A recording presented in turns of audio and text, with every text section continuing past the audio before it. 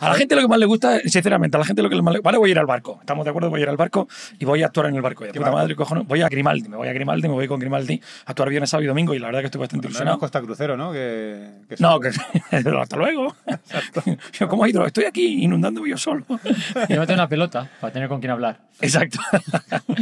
Eh, yo, yo tengo la sensación de que me lo voy a pasar muy bien y tal. Y, y, bueno, me comentaban aquí antes, eh, off of micro, no sé si se dice así. Eh, Off the record. Off the record, muy bien.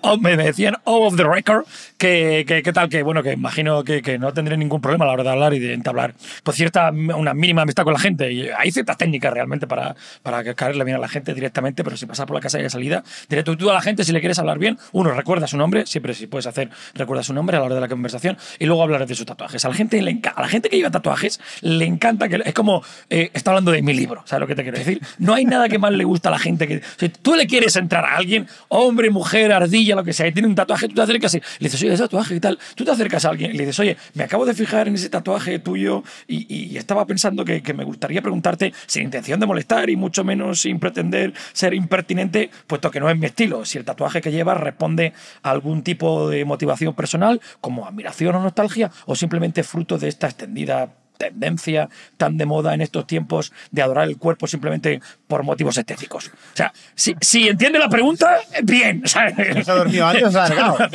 si, si entiende la pregunta, ya tienes. Si te dice, ¿eh? ¿eh? ¿eh? Entonces.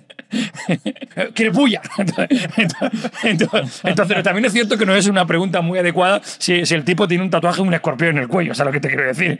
O sea, o sea si, si tiene un tatuaje de un, de un escorpión en el cuello, pues tal vez, pues, tal vez pregunta otra cosa, ¿sabes? Imagínate que el tío del tatuaje te dice, te dice, el tío del tatuaje, te dice, no, es por motivos estéticos.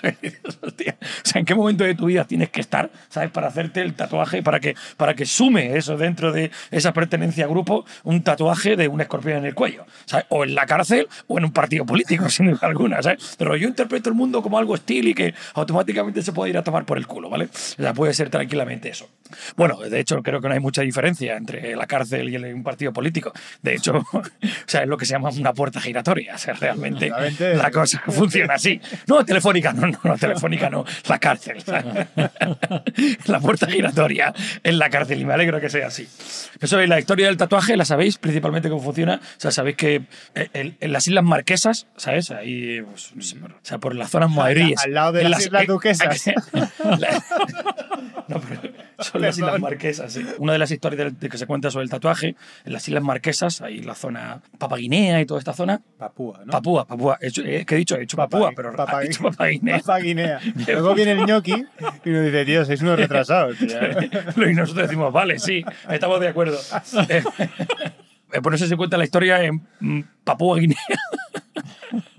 en por eso se cuenta la historia, la, la historia del mito del tatuaje como algo estético, ¿no? Que había un tipo que se llamaba Jamatique, esto es súper curioso, el tío se llamaba Jamatique y estaba, era un tío que tenía una buena posición social y estaba realmente jodido porque su mujer se ve que se había dado al libertinaje y se iba con otros, ¿vale? Y el tío estaba, pues eso, que pues bastante deprimido y tal, y le aparece, el, esto, esto es verídico, lo podéis buscar, aparece el dios tú, aparece el dios tú y le dice que, que qué le pasa. Y Jamatique le dice que bueno pues que su mujer pues, pues que la mujer pues ya sabemos que se está digamos está disfrutando la vida. Y entonces el dios le dice lo que le tiene que hacer para recuperar a su mujer eh, es hacerse un tatuaje hacerse un tatuaje y, y así verá lo bonito que es su cuerpo adornado y la mujer volverá. Así que, y el otro dice que vale puta madre, así que, que, que el propio Dios le hace un tatuaje a Jamatuque, a Jamatuque le hace un- y recupera a la mujer. O sea, realmente cuenta la historia de la estética y de lo bonito que, que es el tatuaje y recupera a la mujer. Lo que ya no cuenta la historia es que luego, pasando tres o cuatro años, ambos intentaron borrar el tatuaje de la piel porque, porque se quería pirar, ¿sabes? Eso, eso no lo cuenta la historia. Gracias a hoy la historia ha cambiado y ahora no hace falta un tatuaje como para quedarte con, con una persona siempre. Solo necesitas pues, pues una hipoteca o sea, tranquilamente y ya. O sea, ahora el tatuaje lo, lo- lo firmas en el banco. Y lo bonito que es. Y lo ¿eh? bonito que es. ¿sabes? Y, ¿eh? de- y del rollo, toma, esto sí que se te va a quedar en la piel de por vida, ¿sabes? Está claro, son 180.000 euros, chaval. Acompañará Venga, hasta la muerte. Bueno, antes de, mm, de que te vayas de crucero, no vaya a ser que naufragues y, se- y seas barrido por la marea. Joder, lo ha cogido con pinzas, ¿eh? Está claro. Ha elegido una gran película, la, la- la peor película de un buen director, había, tal, tal cual. La peor película de un director, sí. De un director. Eh, ah, vale, ok, bien. Un señor. Va a haber controversia hoy aquí. El caso es que empecemos el programa, que es que te vas de viaje y no me ha empezado, tío. Venga, vamos allá. Yo soy Víctor Morcillo. Yo soy Jaume Farrés, Yo soy Sergio Marín. el capitán Stubin. Y esto es Ópera Prima.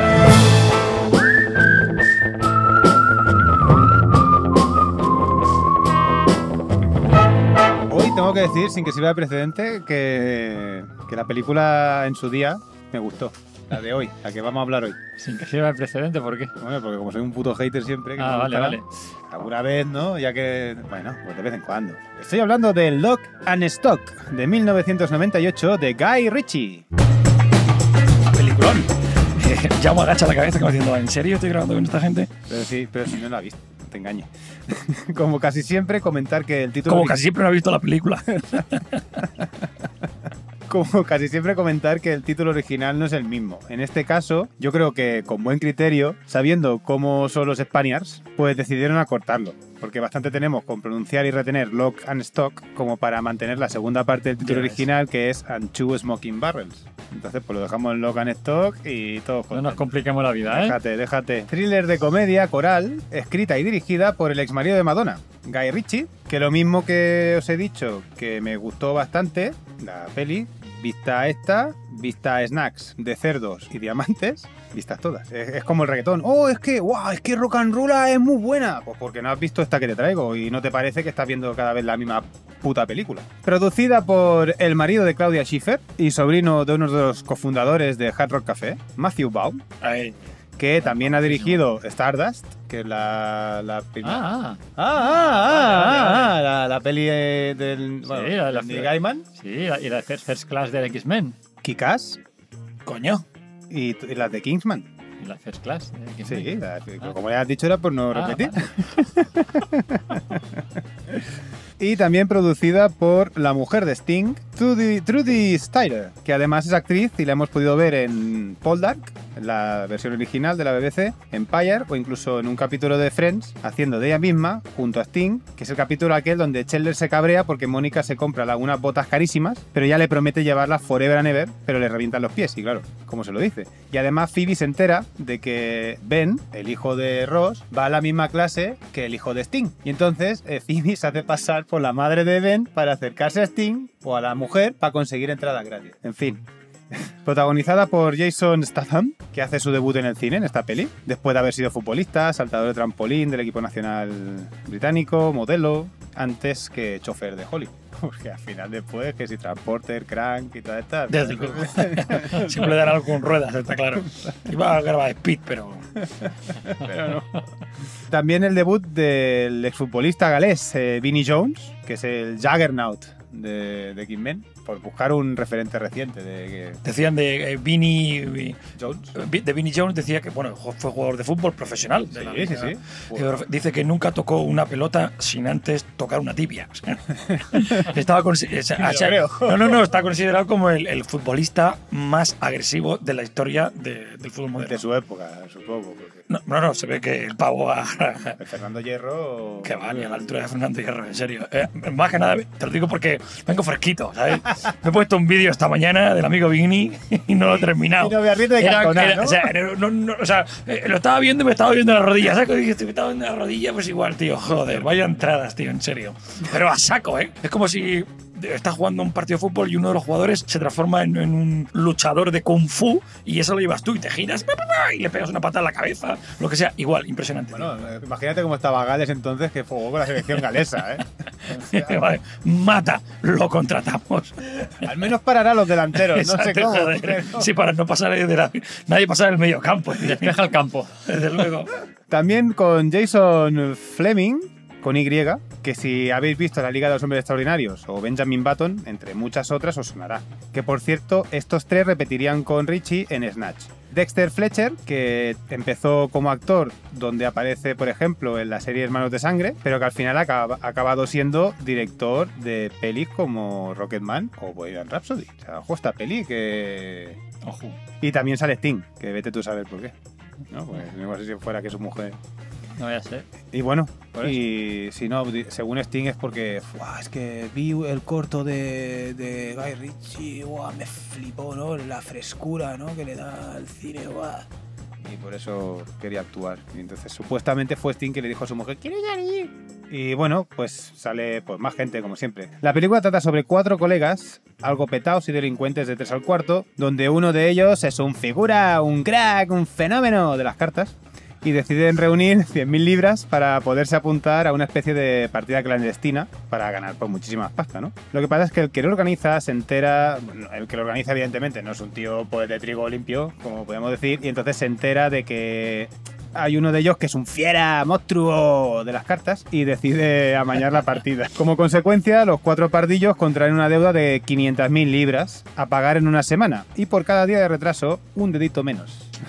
Pasan los días, no consiguen ni por asomo la pasta, y en eso que en el tercer o cuarto día el Master, el Cherry, el jefe de las cartas, escucha a sus vecinos, que son unos ladrones eh, muertos de hambre, que están preparando un golpe. Entonces decide decirle a sus colegas que cuando vuelvan con el botín, ellos les pegan el palo. Entonces uno de esos colegas decide ir a comprar un par de almas. Compra dos escopetas. Un par de, al- de- un par de almas. Por supuesto, mi amor. un par de almas porque tiene el estómago un poco duro y dicho, oye, mira, eh, con lo del atraco y tal, y tengo un poquito de acidez. Entonces, acerca, te lo ha parecido, sí, te lo ha parecido bien. Me ha parecido que he dicho, almas, mi amor, mi amor. Que a mí la sangre, después de matar a mí el estómago, Exacto, me tomo un. Almax. Me tomo un Almax antes de asesinar. Que el reflujo. Ay, qué Es muy bien. malo. Está bien. Decide comprar un, bueno, eh, un par de armas. Compra dos escopetas a un traficante de armas. Sabes que el problema no, no era la S final. No, ya lo sé. Pero desvió, desvió la atención hacia otro lado. Las dos escopetas que las compra. ¿Vale? Compra dos escopetas a un traficante de utensilios para matar y eh, drogas. El señor se dedica a esta, son en los estatutos de, de su tráfico. El aparece, epígrafe. aparece tráfico de almas Código 68 y drogas. y autónomo. Bueno, eh, ¿dónde estoy? Eh, En la farmacia. Sí, esperando a ver si me dan el- la caja de Almax. Me ha preguntado si la quiero en sobre o en pastilla. Y le he dicho que mejor en sobre, aunque le dé más asco, pero que es más rápido el efecto. Sí, eso dice. Pues se las compran al- a nuestro señor amigo del Almax. Mi amigo del Almax. Mi amigo del Almax. Mi amigo del Almax. Estamos fino, mi Almax. Te voy a llamar a los señores Almax a- como el Logan, ¿eh? Amigo del Almax. ¿Sabes? Y siempre con el Almax en su bolsillo. Amigo del Almax. Espérate que no se haya hecho un anuncio así ya. Puede ser. Vamos a ver, porque, a ver, A ver.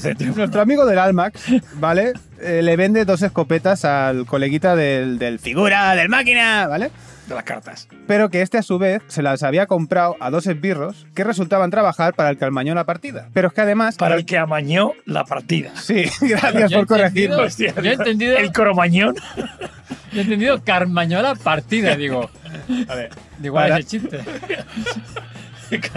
Al Carmañón, al Carmañón la partida. Que era un tío catalán que no le gustaba decir fiambre, le decía Carmañola. Pero como tenía una cicatriz, era el Carmañón la partida. Este es el, este mejor me- para nosotros, y no, me- para vosotros, exacto. para nosotros. Y no me he abierto ninguna cerveza, Exacto. yo todavía. El azúcar me sienta fatal. que amañó la partida. Que amañó la partida. Yo amaño, tú amañas, él amaña. Pero es que además resulta que esas dos escopetas A ver qué pasa. eran lo único que esos dos inútiles no debían vender. Pues claro, ¿qué le pasa al, al señor amañador? Pues que se mojea y entonces le dice que, que- que se busque la vida para encontrar a, lo- a quien se lo han vendido para recuperar las escopetas. Pero además, los cuatro colegas consiguen que el plan salga bien, con el que tenían con sus vecinos, de pegarles el palo. Pero resulta que ese botín tenía que ser para el traficante de Almax que les vendió las Almax para con el trato con, el, con un gángster. Si alguien, si alguien, si alguien, por favor, en este momento está entendiendo algo, pero nos llame. Este es mi teléfono, el 666 466, porque estás contratado, en serio. Estás, Y este, al ver que, que- al ver que no, no, no va a tener las drogas, también se une a la fiesta y se va en busca y captura de quién coño le ha robado las drogas a los otros que les habían robado las drogas. O sea, a nuestros coleguitas los cuatro, que está el figura de máquina, el de crack, ¿vale? De las cartas. Yo iba a hablar de Guy Ritchie, pero creo que voy a hablar de Lost in Translation. ¿eh? Bueno, las películas de Guy Ritchie son un poco así, también es cierto, que, que digamos que, que la- la- las tramas están entrelazadas al final. Sí. Bastante, además. Sí, sí, sí, claro, es que ahí- su ahí- estilo. esto es lo que intentaba intentando explicar. Sí, sí, no. uno le roba lo al has explicado uno, perfecto porque en la esencia lo hemos pillado. uno Sí, le roba al es uno, el otro le, así, roba al otro, el otro al otro y el otro al otro. Y más cosicas, pero voy a parar hasta ahí porque si os animáis a verla, ya que igual os queda más clara. Hemos intentado hacer un spoiler, pero no lo hemos conseguido. Y si lo ha hecho, nadie se ha enterado. Yo insisto que, que a mí me gustó bastante. A mí también, estoy contigo. Así un poco más curioso, la- las fotos de la promo las hizo John Mack, que quien esté un poco puesto en el tema de la fotografía, pues es un fotógrafo bastante reconocido, sobre todo en el mundo de la publicidad. De las campañas más, más tochas, igual hoy en día no, pero el 90 hasta 2000, Mira, Iñaki, corrígeme si me equivoco. y se sigue currando a tope hoy en día. La película costó unos 950.000 euros y acabó recaudando 24 millones. Joder, chaval. Salió rentable. ¿eh? Joder. De hecho, y, eh, No hace falta que compres un, un número de lotería, ¿sabes? Tú eres la lotería. Exacto. Y encima después, y en esa época casado con Madonna, bueno, poco, al poco se casaba Y- con Madonna. no, no, donde pilló la pasta no fue cuando se casó, sino cuando se por divorció. eso, no, no, pero a- aquí gana la pasta, me Sí, caso sí. con esta y luego ya pego el salto. Sí, sí, sí, está claro. El pavo se juntó con una pasta en poco tiempo. Sí, sí, y- 50 millones de libras, más que nada, le dieron a. Y bueno, y de hecho la, la peli fue pegó tan pelotazo que en Channel 4 intentaron hacer en el año 2000 una serie que bueno, que ahí se quedó. Creo que fueron, si no recuerdo, ocho capítulos y ya está. Pues yo. mm, De, de Guy Ritchie. ¿De gay? Guy Ritchie. Bueno, Guy- Guy- creo que es gay, pero... Guy Ritchie. No, eh, es que. La de cara, la cara de Java es un poema. Me da un poco de pereza. Me da un poco de pereza. ¿Sí? Sí, la verdad es que sí, porque. Hoy se han cambiado las tornas aquí y estoy aquí. O sea, normalmente es el, el hater, es el. Bueno, tú has tenido tus momentos de hater también. Claro. ¿Sabes? Sí, sí, sí. Menos yo que soy si, un. si hablamos de. Soy un, un pelota, además. si, si hablamos de. del Snyder o del. Sí, sí, sí. ¿O sí. del otro? Tú has soltado Lo de también. Michael Bay. No, de Michael. Michael- más que Michael Bay. es- No da igual. No, No, da no, igual. no entra ni al trapo con No, Michael no, Bay. Nolan, Nolan. Nolan, Nolan. Nolan y, y, y Snyder me dan un poco de rabia. Ujú. Y este señor. eh, Es que. Este señor, pero este señor tiene cositas... es- No, este señor. Sí, Nolan también tiene cosas que están bien. Pero el Nolan es un pedante que me cae mal. Te trata de tonto. Sí. Y este señor, el problema es que veo sus películas y me recuerda demasiado. Bueno, las que he visto, porque al final ya le- me perdí el interés. Me recuerda demasiado a Tarantino. O sea, le veía demasiado el. Quiero ser el Tarantino inglés. Sí, tiene ese rollo. Y. eh, Claro, es que hubo- tuvo muchos imitadores Tarantino, entonces al final era como otro más. Este usa recursos que usa el, el Edgar Wright. Sí. Pero, pero, pero, pero- me gusta más el, Sí, el, sí. el- el- el Edgar me gusta más. Es que Para nuestros oyentes, Edgar Gray. Edgar Gray, ¿no? Que nos van a volver a corregir. Bien, vale. Edgar, vale, para nuestros No oyentes. somos capaces de Para, vale, para- nuestros oyentes, el señor Edgar, eh, ¿qué ha hecho para que la gente tenga referencia? La de Zombies Party, la de La Arma de Fatal, y la de Baby Driver, la de Scott Pilgrim contra el Munder, la de, de- la de la caposada del fin del mundo. No sé si lo sabéis, hago un pequeñño inciso, pero mucha gente, de, bueno, algunas personas de las que nos escuchan, que he tenido la suerte de poder co- contactar con ellos, eh, Pues eh, es un acosador. Sí, voy, voy- escucha a todo el mundo, escucha para pico, no, escucha para- cuando llega un hombre, ¿qué tal? Y eh, me han dicho que ven y es, bueno, principalmente que, que revisan las películas, eh, hacen un primer visionado de las películas que nosotros recomendamos eh, sobre un director que no han visto. O sea, que uno se no, siente, es la se idea, siente ¿vale? orgulloso de decir, "Oye, mira, no había visto esa película del director, la he visto, la película que comentasteis el otro día, bueno, la vio nosotros, o alguna que tal, que la he visto y la, realmente pues es una buena película. Muchas gracias por, por estas recomendaciones eh, cinematográficas. Así que, que bueno, que todas estas cositas que parece que no sirven. Claro. Sentimos honrados. Sí, sinceros. No, no, Sí, sí, Sobre todo, si quieren saber de qué va Loca en Stock, vedla. Sí, sí, Sí. Esta semana. ¿eh? Dejad el podcast aquí y ya está. Exacto. O sea, no, no, no es tan liosa como hemos, lo- o lo- inte- como hemos intentado describirla. Eso sí, intentad ver, ahora que, que me he acordado, intentad ver la- la- el montaje original, porque en el 2006 creo que fue, se hizo como una especie de remontaje que dura como 120 minutos. No hace falta. Con el montaje original ya era bastante. Bien. ¿Vale? De, del Guy Ritchie este tiene, tiene, mm, tiene una película que fui a ver con muchas ganas, que es la de Arma, Arma Letal. que ha hecho dos partes, Arma Letal 1 y Arma Letal 2. La más letal Stark. Arma Letal Stark. Sí. Una, una que pasa en el siglo XIX. Sí, que era cuando, cuando Stark Industries empezaba.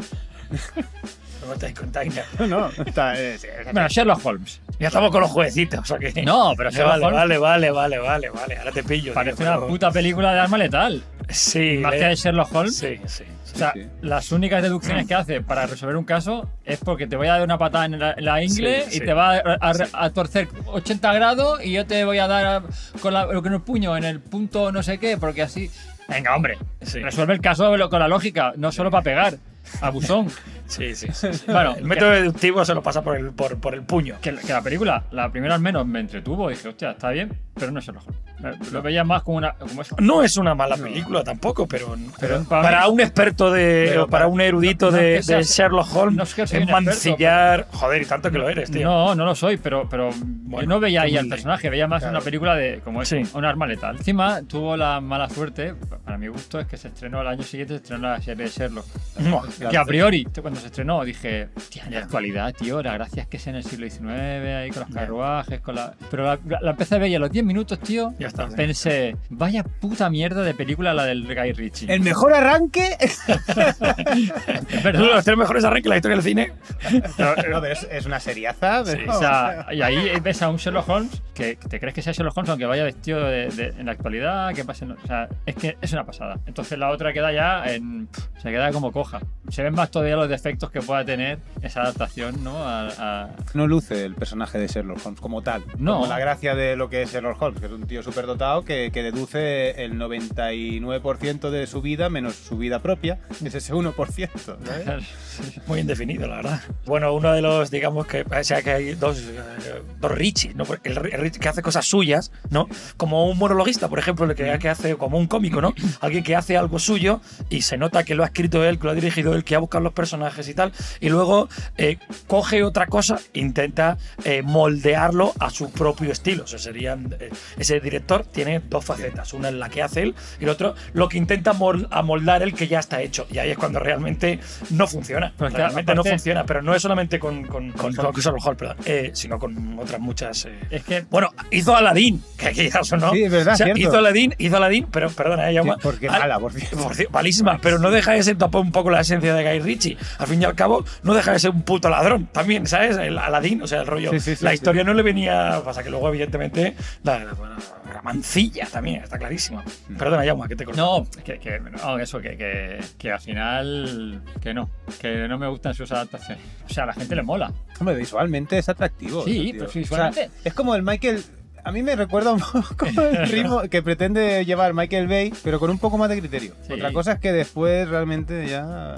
Claro. A ver, si, si, si lo, si lo que digo, que, que la película está entretenida, que está Sí. bien, que no, no es que me dijera, joder, vaya puta mierda, ¿no? Pero después te pones a pensar y dices, hombre, pues no es, no es el Sherlock Holmes que a mí me gusta. Claro. Pues- Sí, de maneras. sí, O sí. sea, si me vale, Sherlock Holmes puede ser de muchas maneras porque la- es su visión. Vale, pues no me gusta tu visión. Ya está. Bueno, lo que sí que aquí lo que, lo que digamos que tenemos que buscar un punto intermedio en este caso del director. Es el hecho de que tú estás valorando al director por una cosa que ha cogido que ya estaba hecha, que la ha adaptado a su, digamos, buen que hacer, porque realmente no se puede decir que Guy Ritchie es un mal director. No. ¿Que ha hecho películas malas? Sí. ¿Que Bueno, donde la ha cagado realmente ha sido cuando ha intentado adaptar? Pues eso, pues sí. Pero que realmente cuando el tío hace algo suyo, coño, o sea, no se puede decir que lo que esto que es una mala película. No, no, no, Tiene no. un ritmazo No, que no, te no. cagas, eh, tío, una- el guion es sorprendente, el casting está de puta madre. eh, Claro, es que además, eh, hoy en la- día- la- la- a ti, por ejemplo, que te encanta la técnica, evidentemente en el cine y tal, bueno, a todos nos gusta, ¿no? El hecho de, de, de dónde se toman, de la- la- las, tal vez tenga algo de Tarantino, sin duda alguna, eh, esos diálogos rápidos. temporales, de cambio de. Exacto, papa un poco desordenado Es- y tal. es sí, de-. Es un poco tarantiniano en ese aspecto, No, sí. y, y- y en su día todavía la valoro más, por eso lo destaco, porque es que en esa época precisamente tú no conocías a los actores prácticamente ni a él. Por lo tanto era como, hostia, esto no los conozco de nada, Sí. están de puta madre. Sí, sí, sí, sí, sí. Bueno, Jason Statham eh, se sale pr- principalmente, pero no solamente en esa película, sino en Snacks, de los antes, por ejemplo, tiene- Rock and Roll, que es la trilogía, la trilogía de, de- de él, ¿no? De, de Guy Ritchie y luego ya The Gentleman un poquito más adelante, que también es una buena película. ¿sabes? La, No la es- de Snatch, bueno, la, la verdad es que Es- la- es- la- tiene cosas muy divertidas. es- A ver, es- la, la- del el Brad Pitt se sale. Otra vez. Sí, de hecho, Otra vez, otra vez. no se podía no decir eso. o sea, de hecho, la película o sea, se llama Snack, Snatch. que dice otra vez, porque a ver si hemos dicho Snacks. No, yo, yo, Cerdos. yo, yo la he presentado como snacks de, Snacks. de cerdos y diamantes. Exacto, lo has dicho exactamente al principio. bueno, es, es unos snacks, unos, unos morritos que son de cerdo, ¿vale? Y luego iba a decir unas ostras, pero son perlas, así que no, no lo podemos ligar Es por está de parte. Barovsky. Pero es, es, es- es snack, es snatch, snacks, cerdos y diamantes y un gitano. Está claro, porque la película de, de un gitano. He de reconocer que esta colectiva la he sacado buscando eh, información de la película en, en la página de spin-off, porque me gusta mucho. Todo porque realmente lo que marca la diferencia es el gitano. Sí. Intentando profundizar sobre la película de. es- no la voy a pronunciar bien. La película de De, Cerdos y Diamantes. de los aperitivos, eso. o sea, intenta buscar algo, digamos, relacionado con la filosofía y me ha sorprendido porque hay un trabajo de filosofía del lenguaje, especialmente de lingüística, de una tía de, no sé, creo que es de Sudamérica y tal, donde se hace un estudio de la película de la pronunciación. O sea, se, se indaga filosóficamente en la pronunciación de la película de, de Nacidos y Diamantes. Y me he quedado flipado. Había como 99 hojas y digo, ni de coña, evidentemente. Y he intentado buscarle una vuelta de tuerca al asunto y no he encontrado nada. O sea, lo que sí que me ha parecido, digamos, digno de admirar es el hecho de cómo todos esos personajes, que son ladrones de tres al cuarto, que Sí, sí, siempre son o sea, son granujas de medio pelo, que hablamos Sí, otro sí. día, o sea, y tal, pero que no pierden la esperanza, que son gente que están esperando ahí a la mínima para pegar el golpe y, se- y son también. Son sí, súper resilientes. son resilientes. sí. Resilientes, perdón. Resilientes. Los resilientes parece una. Una peli. No, no, más que. Sí, una peli, Como, pero. pero de estos de invasión, ¿sabes? Los resilientes. Sí, por eso parecen, parecen unos, unos, unos alienígenas, una raza alienígena. Los resilientes. Los resilientes me han venido a invadir la Tierra, ¿sabes? Ah, eh, estos son chascarrillos, son unos running gags de la semana pasada ¿no? Sí. Que estemos haciendo. Es lo que pasa. Tenéis que escucharlos cada Tenéis semana. que escucharlo cada semana porque vamos, vamos cogiendo el hilo. Porque vamos somos cogiendo así de divertidos. Hacíamos la, la- la diferencia entre, entre residencia y resiliencia, que no era lo mismo. Eh, La resiliencia es la capacidad innata que tiene el ser humano de levantarse de los golpes y la resiliencia es justamente todo lo contrario, es la, la capacidad de aprender a pedir ayuda cuando la, la vida te da golpes porque eres incapaz de levantarte por ti mismo, ¿no? De hecho son gente que, o sea, son gente, pues eso, granuja de medio pelo, eh, pero con muchos huevos, o sea, son tíos que realmente, o sea, son muy auténticos. De hecho hay un monólogo, hay un monólogo en la película de, de Náxeros y Diamantes en la que cogen justamente a Vini, cogen a Vini, lo cogen tres pavos que vienen de otro sitio que son unos auténticos matados y el Vini los tiene realmente cuadrados, los tenía cuadrados fuera del campo y dentro del campo. Y es buenísimo, le, les hace un pequeño monólogo que me ha encantado, que le dice, lo dice así, exactamente así, le dice, las pollas tienen instinto y visión clara, pero no son listas. Dice, cuando huelen conejito, quieren entrar en acción. Y tú creías que habías olido un buen conejito y has traído a tus dos pelotitas de maricón para que también se unan a la fiesta. Pero te has confundido de fiesta. Aquí no hay conejito, solo hay purgaciones que te harán querer ser mujer. Eh, o sea, y le dice, como polla, y ya empiezas a tener dudas. Porque son tres apuntándoles. ¿sabes? Dice, como polla, y ya empiezas a tener dudas. Empiezas a arrugarte y tus dos pelotitas también se arrugan. Dice, y el hecho de que tengas la palabra réplica inscrita en la pistola, junto al hecho de que yo tenga una Desert Eagle .50 escrita en la mía, y, pone, y se ve como, como en plan tarantiniano también, y entre Rachel, o sea, como una máquina de, de escribir, pone eh, digamos que representa la, la palabra de Eagle, ¿no? De la pistola. Dice, debería precipitar el encogimiento de tus pelotas y de tu presencia ahora y a la mierda, ¿sabes? Y se ve, o sea, realmente buenísimo. O sea, me estáis mirando raro. No, no, no. sí, sí. Así. De hecho, creo que Guy Ritchie, insisto, es un gran director de cine, pero creo que, como decía hace un momento, se puede representar con la figura del monologuista. O sea, si haces algo bueno, si haces algo tuyo, lo puedes representar bien. Cuando te metes a representar otras mierdas que no son tuyas, ahí la puedes cagar. El monólogo me parece sublime y no solamente eso, sino que me ha llevado a otro monólogo. O sea, realmente el cine está lleno de monólogos realmente pues, que, que- que realmente impresionan. Y, y me ha venido Dennis Hopper a la cabeza, tío. Venido- ¿Os acordáis de Dennis Hopper? Dennis Hopper en la película Amor a quemarropa, cuando está con Christopher Walker, eh, lo vamos a- creo que ya se ha hablado aquí de Amor a de quemarropa Aquel guion de Tarantino. de aquel guion de Tarantino, fíjate, ¿eh? como realmente todavía estamos conectando a Guy Ritchie, ahí eh, no sé cómo encontrar la palabra, ¿sabes? Así que creo que es una referencia, ¿no? Creo que es una referencia para que él. No sé si algún día lo ha reconocido, ¿no? Pero creo No, la bueno, seguramente, pues no Claro. sé. Realmente a mí me pasó algo curioso, como me ha pasado con algunas otras eh, experiencias con directores, que no he visto sus primeras películas y luego he ido marcha atrás y he dicho, hostia, pues sí que se parece bastante realmente y he de reconocer pues, pues eso, que las primeras eran mejores, ¿no? Yo vi primero Snack y Diamantes, me quedé flipado, luego vi Rock and Rolla y también me pareció una buena película, me pareció una película muy divertida, son peliculones. Y luego ya no me esperaba que eh, volviera a ver una película tan buena del estilo hasta que mi ignorancia alguien me dijo, pero habrá visto, no? Y me dije, no, y me dije, no, perdona, ¿sabes dónde coño ha salido? Y le dije, "Uy, tengo cuatro dedos, ya bueno, no. y me fui, me fui a un clásico ahí, tengo cuatro dedos. Y me dijo, tienes que ver Loca Stock. Así que me, y dije, ahí va. Y sin duda uno de los tres mejores arranques. y me pareció, de hecho me sorprendió. De hecho me sorprendió. Luego, evidentemente, si tienes que quitar una de esas tres, te cargas Rock and Roll, que te las cargas directamente. Eh, me encantó Tom Hardy, por ejemplo, en esa peli, que, que lo hace muy, muy, muy, muy bien. Al Gerald Butler también, bueno, de hecho, toda la película. El, el ruso, que no deja de ser el. Yo, yo veía al ruso y veía al. Coño, al, al- al director del Chelsea, ¿cómo se llama? A la Ibrahimovic. a la Ibrahimovic, yo y tal, o sea, no sé, veía a Ibrahimovic de rollo haciendo un paralelismo con los rusos y tal, y luego, y luego los, los dos personajes, tal, cuando lo enganchan, no sé, o sea, la película realmente está, es, es una película, bueno, es una película que vas al cine a divertirte, Sí, sí, principalmente no, a sí, divertirte, vida- a pasártelo bien, sobre todo el ritmo, pero principalmente eso es lo que yo más le agradezco a, Lo que le destacas a Guy Ritchie. a Guy Ritchie, el ritmo y, y luego los montajes que quieras, ¿no? Y luego ese entramado de cómo al final la película acaba cerrando el círculo de una manera principalmente brillante. Sí. Y te va llevando, ¿no? Una y otra vez, te va llevando y te va, papá, y al final ves cómo se va entrelazando la historia. Y a mí eso es una de las cosas que realmente más me gustan del director. Pues a mí, a mí no me- mira que me gustan a veces historias de unos que persiguen a unos que persiguen a otros. Esto a mí esto me gusta mucho. Te gusta de los Cohen, ¿no? ¿Te gusta?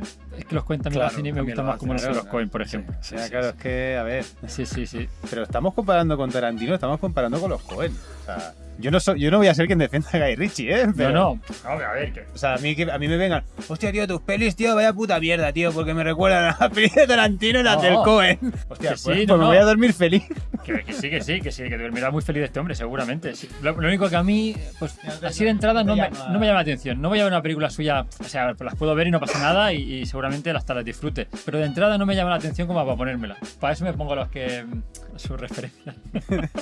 Un día le a dar otra oportunidad a. Mírate esta, al menos, la de Local Stock, que Venga, por va. el tipo de peli que es, yo creo que te... Sí, sí, Que te sí, sí, gustará. sí, sí, sí. Pues si es que tiene todos los ingredientes para que me guste. ¿Por Sí, eso? Para que no haya visto también esta trilogía eh, y, y, bueno, y quiera recordar un poquito o quiera ver otra vez, digamos, la esencia del, del director, The Gentleman, insisto, también es una película que se deja ver más o menos del mismo estilo, en lugar de, yo qué sé, pues esta vez, eh, en lugar de un, un contrabandista de armas o, o un mafioso y tal, pues es un contrabandista de marihuana, personajes también un poquito de aquella manera, eh, digamos, personajes- Empresarios, empresarios al fin y al Em- cabo. empresarios, empresarios autónomos que se ganan la vida como pueden, ¿no? Esta mierda de sociedad. Y, y, bueno, recoge un poquito la esencia, ¿no? que recoge un poquito un gran Matthew McConaughey que lo, hace- lo hace de puta madre. Y también, pues eso, eh, la línea de estas tres películas, que si te gusta, pues también la vas a disfrutar muchísimo. Venga, pues tiraré por ahí a ver un día esta. A ver Venga, hombre, ahora con el veranito, ahora que ya dejamos de hacer programa, ¿Verdad? tiempo. Nuestro último programa, ¿no? De, de la, la temporada. La temporada va a ser una pena realmente, porque quieras o no. Hasta septiembre, ¿no? hasta Volvemos. Septiembre, sí, ya vendremos con, con, Bueno, con digamos, con. eh, bien, vend- vendremos. vendré- sí, Bueno, tú estarás en una isla desierta y hablando con la pelota, ¿no? exacto. Yo, en un principio sí. O sea, la idea es, eh, la idea es que de- eh, entre, entre viernes y domingo naufragar y a ver qué pasa. O sea, ese es el plan, ¿sabes? Ese es el plan. ¿Hay algo que alguna que queráis recomendar para, la- para nuestros oyentes para este verano? Sí, ya que estamos. Bueno, yo, yo, bueno, pues para dejar una película de cine, ¿no? Pero Sí. digo, porque no sé lo que viene y tampoco me gusta mirarlo antes de. Es una película de, de Sidney Lumet, se llama Antes de que el diablo sepa que has muerto. No sé si. Muy eh, buena, muy buena. Es un peliculón total. La conoce muy poca gente. Me sorprende cuando, cuando Sí. hablo y tal. Y, y la gente no la ha visto. Es, un- es una película de- de- del 2007. Es una película, bueno, es eh, Philip Seymour Hoffman, Ethan Hawke, eh, Marisa Tomei. Marisa Tomei. Eh, si te gusta Marisa Tomei, si os gusta Marisa Tomei, el arranque de Marisa Tomei no se te va a olvidar. De los tres de mejores. los tres mejores arranques. Ese es el que se va a poner en tus tres mejores. Porque si eres fan de Marisa Tomei, sale Marisa Tomei, digamos, en esencia, sale Marisa Tomei. Bueno, no sé si no. Eh, la película, la película creo que hoy la, se, se la podéis encontrar en Prime Video, ¿vale? Muy recomendable, así que esa es mi, digamos, mi película para pasar un buen rato, si queréis echar un ratito en casa, en familia, una película dura, Dura, realmente dura, dura, una película dura. realmente dura. O sea, es un, es un drama, eh, Es un pero drama, es un thriller, thriller, drama, drama eh, y- todo. Es robo y atracos, que algún día queremos hacer una película sobre robo y atracos. Una película, ¿Tienes un proyecto para hacer una peli de robo y atraco? he dicho, no, hablar, hablar de la película. Hemos dicho que teníamos Has dicho que queremos hacer una película de Atraco y digo, bueno, Bueno, no que mal. queríamos hacer un Ya- programa, un programa quería hacer un programa. pues la peli si quieres, oye, esto... Yo eh, encantado de hacer una. bueno, Joder, de robo y atracota para. Mira, de Robert Atraco os voy a recomendar A ver. nuestro cortometraje a medias. sí. Por ejemplo, Lo por ejemplo, podéis- hablaba del programa, pero sí, sí. Podéis ver este verano también. A Pues medias, son en 12 minutos, por lo tanto, En os da Prime, tiempo en en Video no, pero lo podéis Lo encontrar puedes ver en YouTube, en YouTube. Sí. en la página de Unju Producciones. Más fácil, ¿eh? Un Ju Producción lo puedes letrear para que la gente. U-N-W-H-U Producciones. Exacto, lo digo por si alguien quiere. No, no, muy bien. muy bien. Eh, si alguien quiere, pues ahí tenemos eh, Bueno, bastante nuestros material. trabajos. Porque Todo eh, nuestro trabajo, está claro. Aquí, aparte de decir tonterías, pues también hacemos todas las tonterías. ¿eh? Cuando nos dejan hacer tonterías. Decimos y las hacemos, ¿no? Nosotros Claro. Sí. somos de esos que, que comulgan con su propia con su propia pitch de rollo. Para hacer cualquier cosa solamente hay que ponerse, está y, claro. y así pues nos exponemos también, que lo mismo que nosotros rajamos de, de los trabajos de los demás, pues para que la Po- gente pueda rajar. podéis eh, verlo y si queréis nos podéis dejar los comentarios que os ha parecido este, este- este- este cortometraje o la película que ha recomendado Sergio. Dentro de un juego no solamente vais a encontrar, eh, sino eh, vais a encontrar eh, pues una serie, dos, o sea, dos temporadas de una serie de, de- de- de cine, de novela negra, de cine negro, que se llama Efímera Negra, eh, que realmente hay algunos capítulos. Yo, yo tengo devoción, pues iba a decir el de Sopa, pero es muy justo decir esto. La peor muerte de la historia que es la mía. O sea, no hay nadie que se ha muerto peor en la historia del cine. O sea, yo, Voy a, voy a darte la razón. no hay nadie que se muera peor en el cine. La verdad que es lo que nos podemos contar. O sea, realmente fue la primera vez que conocí al Jaume y, and Company.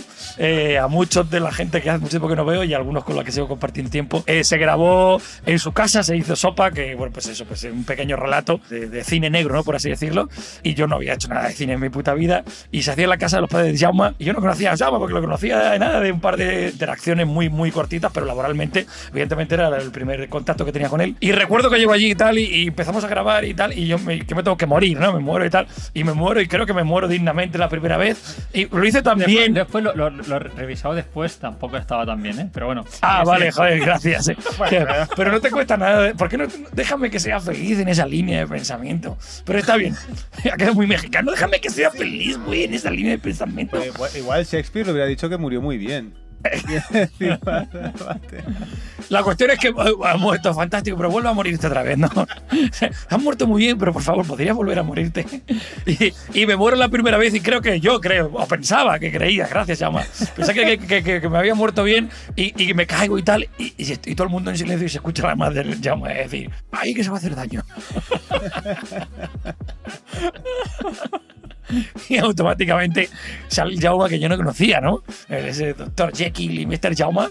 Y sale diciendo, ¿cómo le dijiste a tu madre? ¡Silencio, coño! El coño se alargó y tal. Y, y la madre del Jauma, pobrecita y tal, ahí o sea, veniendo todo Freud encima de la madre de Jauma.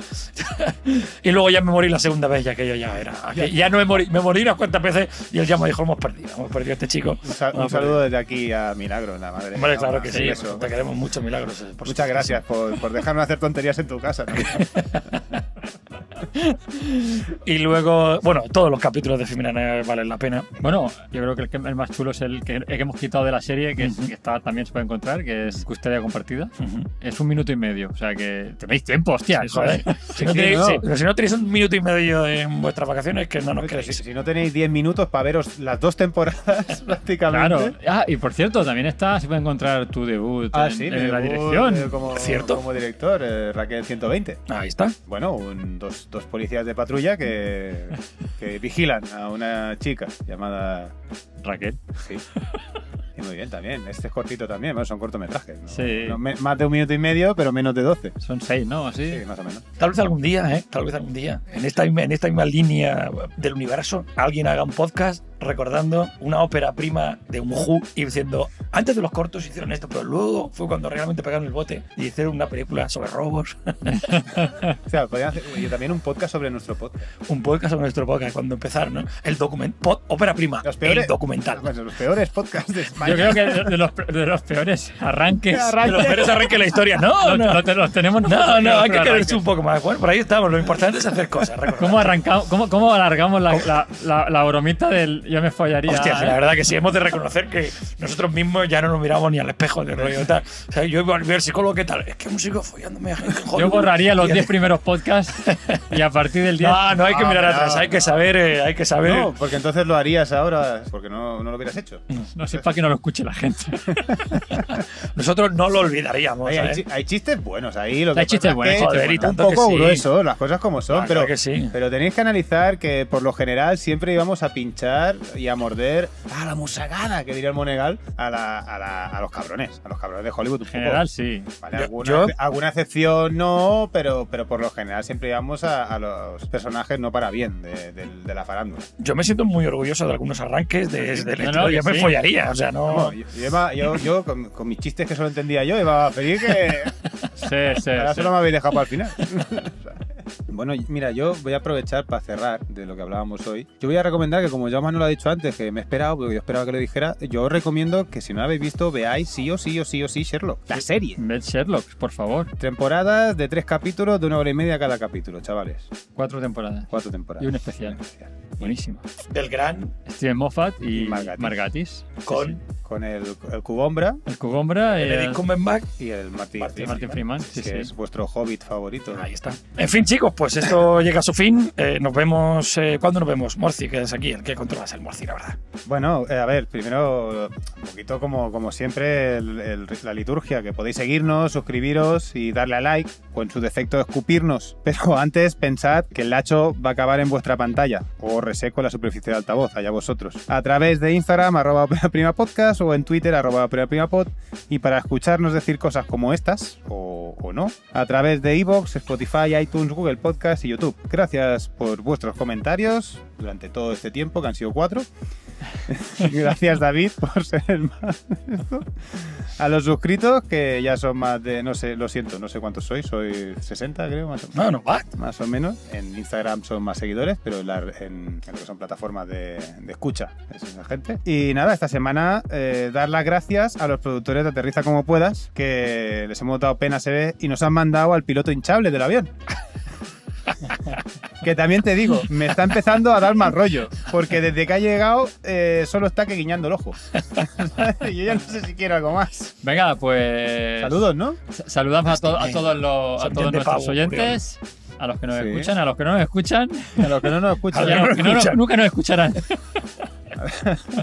Bueno, deciros que, como siempre, pues ha sido eh, un placer. Eh, también un- me gustaría un saludo especial para David, el invitado la semana pasada, eh, que hemos decidido ya hoy aquí de una forma consensuada quién va a volver. No, no, que broma, que vendrá otra vez, porque la verdad que lo pasamos de puta madre. a ver, ya veremos. Es- eh, ya veremos, ¿no? Ya lo hablaremos, ya lo hablaremos. que te queremos mucho, David, que muchas gracias por compartir. Muchas También gracias. ha sido, evidentemente, eh, parte del programa. Por mi parte, decir que estoy súper contento de grabar aquí con vosotros. Estamos en mi casa, ahora os pasaré la factura del aire acondicionado. La tarde, ¿eh? Ya toda la tarde aquí. Y esto ya a 0,24 el céntimo. De hecho, es el motivo principal por el que no grabamos ya hasta. En verano. Eh, Exacto, Endesa. Queremos que Endesa nos arruine. Exacto. Gracias, Pero yo es que ya estamos poniendo pasta ya. ¿eh? Esto se nos está yendo. Necesitamos un O sea, mecenas. no hemos puesto un Patreon de momento ni nada, porque sí, y Ahora ahora solamente por, por la luz, rollo, y lo siento mucho, chicos, pero es que si no, es que no, no damos para más. Eh, lo dicho, es un placer eh, estar con vosotros y, y también estar con vosotros que estáis fuera del micrófono. Es mutuo. Eh, os queremos mucho, Oh, eh, yeah. creo que hablo por los tres y estamos deseando. En ya septiembre volvemos. En septiembre volvemos con las pilas cargadas Eso y, Y ya veremos si con novedades o no. con los perros que somos. Pero volveremos, volveremos. Eso sí. que- I will back.